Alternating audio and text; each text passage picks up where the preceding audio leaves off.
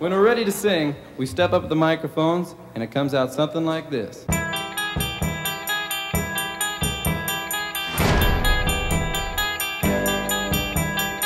We came in the studios with Levi's and t-shirts, smoking cigarettes. The older guys were saying they're going to wreck the music business.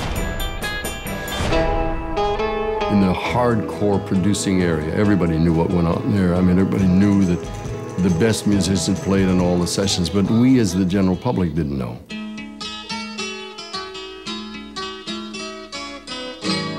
They played so well, and they played so well together.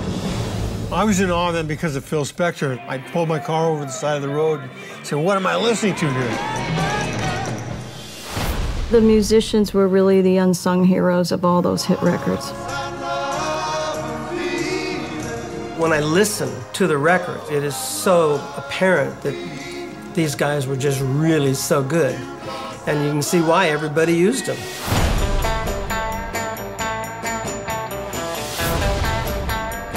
The Wrecking Crew was the focal point of the music. They were the ones with all the spirit and all the know-how. We made up a lot of arrangements ourselves. We would either augment or totally replace a group.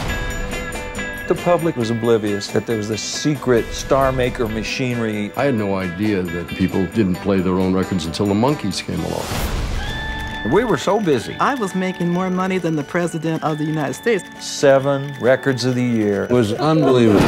Here's the way that the beat goes on sounded when we first heard it. La di da da da. Yeah, I said, uh-oh. The third line I came up with was.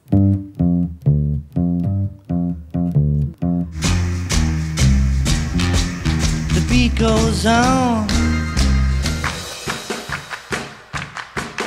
They were the stone cold rock and roll professionals, and there may never be a group of that caliber again. Da,